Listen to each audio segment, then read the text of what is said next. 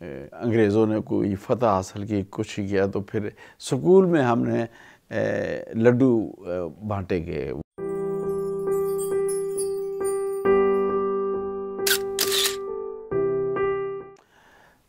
میری یاداشت کے حوالے سے یہ ہے جی کہ مجھے اتنا مجھے یاد ہے کہ اپنے بچپن میں میں نے سیکنڈ ورلڈ وار ختم ہو رہی تھی۔ اور مجھے وہ گن گرج اور وہ ایک طوفانی سی ماحول سیکنڈ ورلڈ وار کا اور جو ہمارے جہاں ہم رہتے تھے، اس کے پیچھے جہازوں کا آنا،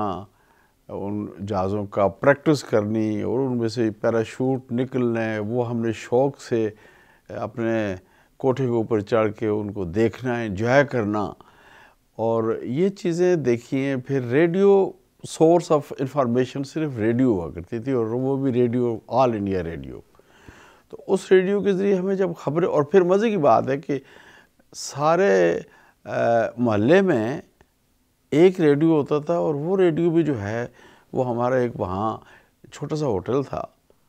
غلام رسول دی کا ہوٹل جسے کہتے تھے، اس کے اوپر جا کر ہم سنا کرتے تھے۔ تو وہاں سے پتہ چلتا تھا کہ جی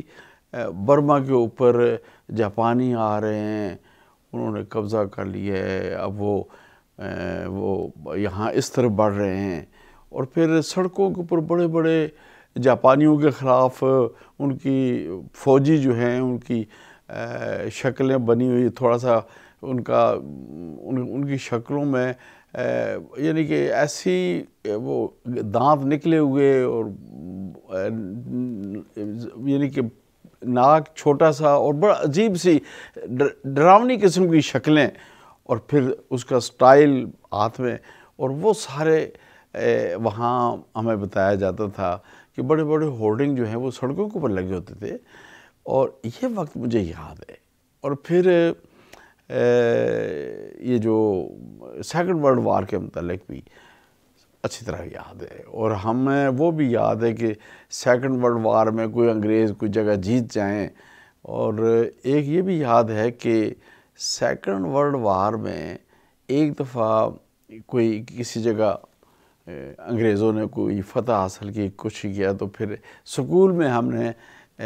لڈو بانٹے گئے وہ خوشی میں۔